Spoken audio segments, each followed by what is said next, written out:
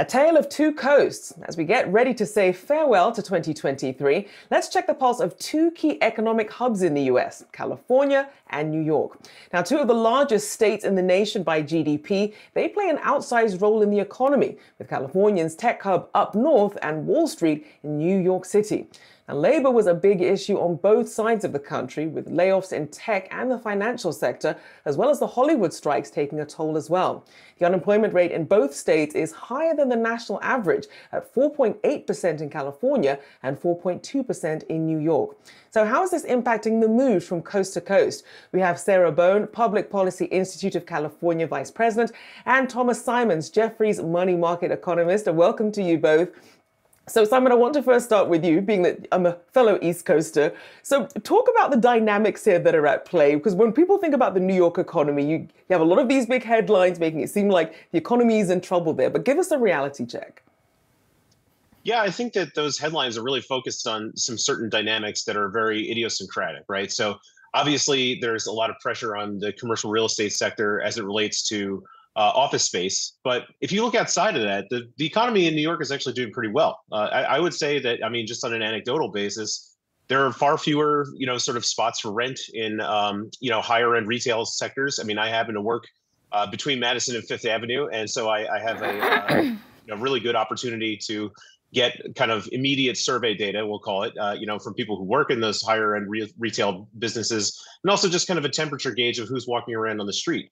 And, and I would say that whether it's the return of uh, certain tourists from areas that maybe were uh, restricted from travel before, or just a you know kind of general um, you know surge in domestic tur- tourism as well, we are seeing the crowd levels sort of back to where they were uh, in in 2019, for instance. So.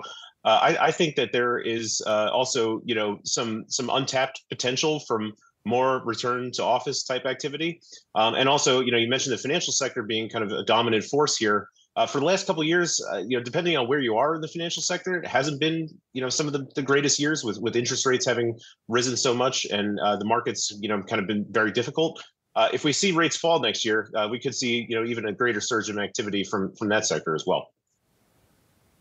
Uh, Sarah, you know, we've been talking a lot about the major companies out of California, but obviously California made up of more than just tech companies. You've said that there is still a lot of pessimism around the state economy despite the relative strength that we're seeing. Uh, seems to pretty much be on par with what we're seeing nationally. What's leading to that pessimism in the state?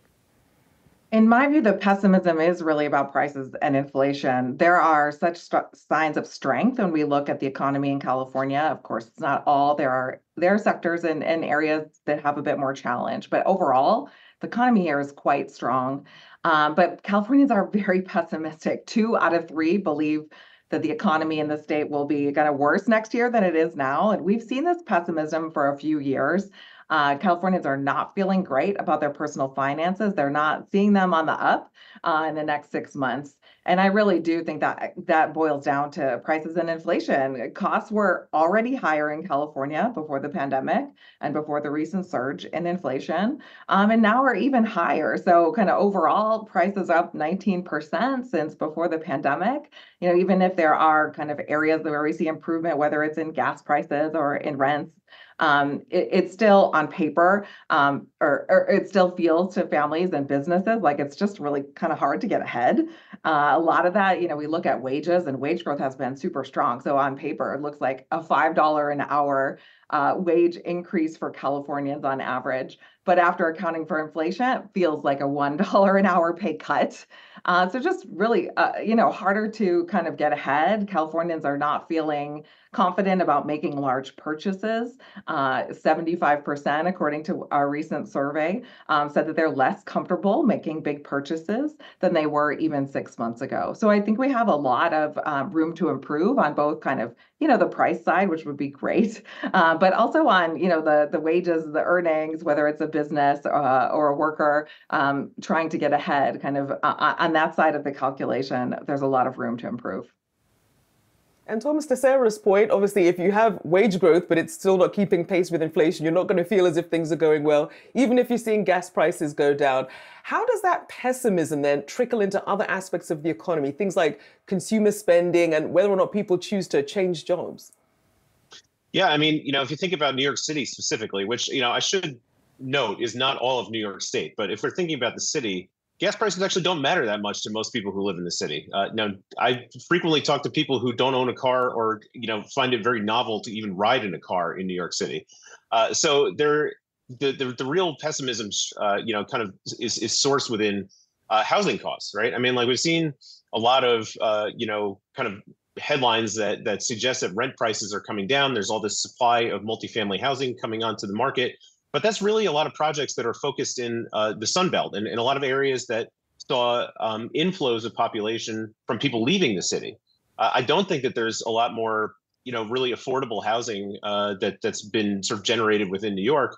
Uh, I think that there are some big real estate development projects that have affordable housing as, as components of them, but they tend to be in the later phases of construction, which we haven't quite hit yet. So uh, overall, I think that there is a, a big affordability problem within the city uh, I don't think that we're particularly close to seeing that, um, you know, kind of uh, find some relief. But uh, you know, the the fortunate thing for New York is that uh, you know a lot of its economy is based on people who don't live in the city who are coming into it. So uh, I think that you know the the people who live in New York are, are probably feeling a lot of that same pressure that um, that Sarah was talking about, and and you know I, I don't see a whole lot of relief coming anytime soon.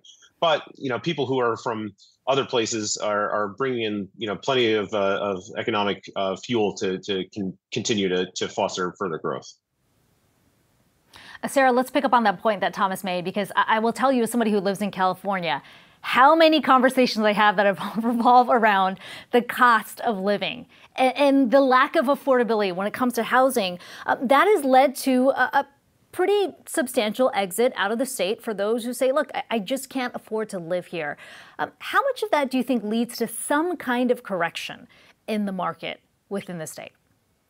That is a good question. We are monitoring closely these trends in, in population. During the pandemic, California saw a net a loss in population, fewer people coming in and, and actually more exits than we'd seen in prior years um, even among kind of high income earners who you know can uh, you know ostensibly can afford the cost of living to get kind of reap the benefits of being in California. So we're not sure yet if that is you know a temporary correction, something that you know remote work um, maybe drove, um, or if that is a new trend um, that there is a turnaround in the draw of California because of housing prices and other costs here.